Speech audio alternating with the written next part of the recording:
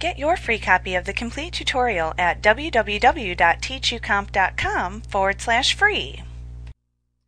Sometimes when working on a publication, you realize you've been using the wrong word repeatedly throughout it, or decide you need to change a word or phrase you used often to something else. You could go through your publication and change each occurrence manually, or you could let Publisher do it for you. To do this, click the Replace button in the Editing group on the Home tab in the ribbon to open the Find and Replace window in the Task pane. So on the Home tab, under Editing, we'll click Replace to open Find and Replace over in the Task pane.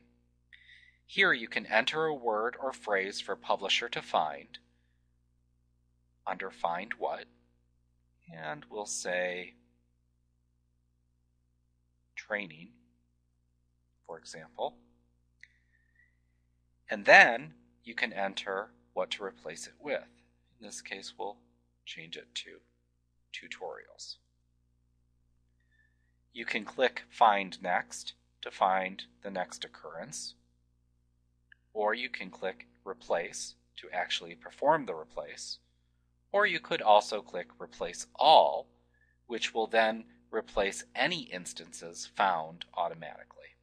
And then you'll see a dialog box appear that says Publisher has finished searching the publication.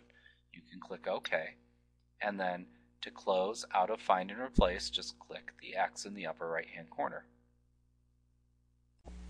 Like what you see? Pick up your free copy of the complete tutorial at www.teachucomp.com forward slash free.